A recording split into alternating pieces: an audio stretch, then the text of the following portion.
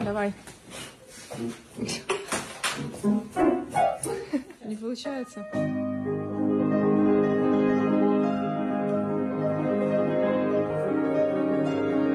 Jeszcze niedawno nikt nie wyobrażał sobie, że Ukraińcy będą chodzić wśród gruzów swoich domów.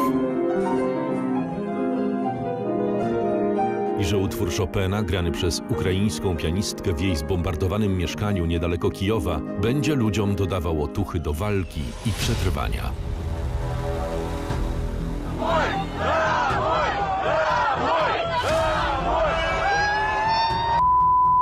No, dawaj, dawaj, dawaj.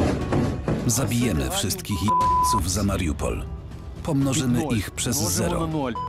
Ale pomimo tego, że mało kto wierzył w wybuch tej wojny, wszyscy się do niej szykowali.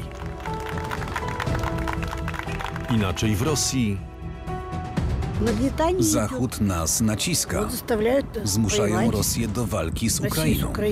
A inaczej w Ukrainie. Właśnie słyszymy alarm bombowy. Ćwiczymy na wypadek zagrożenia bombowego.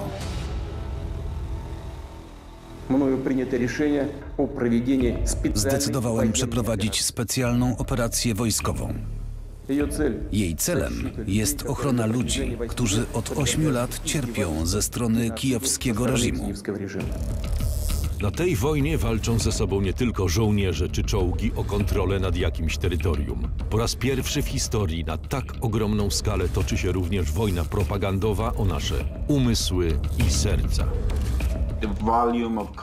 Liczba materiałów, filmów wideo, która trafia do nas prosto z frontu, jest ogromna i niemożliwa do skonsumowania. W jaki sposób Rosja przygotowała propagandowy grunt pod tę inwazję? Dziś rosyjskie siły zniszczyły radiotelewizyjne centrum w Kijowie, które od lat przeprowadza operacje psychologiczne przeciw nam co mówi telewizja, myśli większość Rosjan. A jak się już ma telewizję, to można właściwie robić wszystko. Można powiedzieć najgorszą historię i bardzo wielu ludzi w to uwierzy. Na Ukrainie, na Ukrainie jak chwasty rozplenił się nazizm. I ja wiem dokładnie, kto to zrobił i komu to było potrzebne. Jestem na jednej z głównych ulic Charkowa, gdzie przed wojną spędzałam dużo czasu, spotykałam się z przyjaciółmi.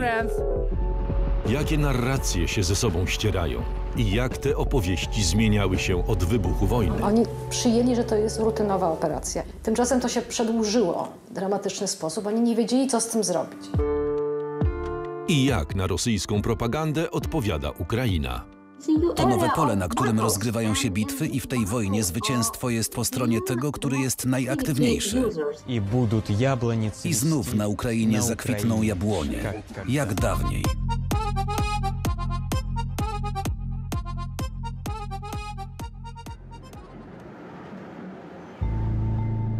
Andrzej Załucha przez 25 lat był korespondentem polskich mediów w Moskwie. Zaraz po rosyjskiej inwazji postanowił wrócić do Warszawy, bo normalna dziennikarska praca stała się w Rosji niemożliwa.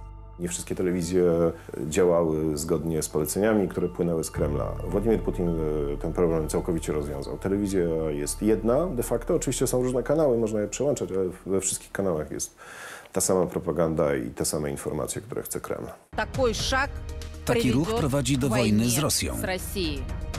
I to wojny jądrowej, której Waszyngton nie wygra. Kiedy mówimy o propagandzie rosyjskiej, trzeba pamiętać, że nie została ona włączona dwa tygodnie temu, trzy miesiące temu, kiedy zaczynała się wojna, ani rok temu, mm, tylko ona działała mm, właściwie od samego początku, kiedy Putin się pojawił. Ta propaganda stopniowo narastała i była coraz mocniejsza i e, padała na podatny grunt.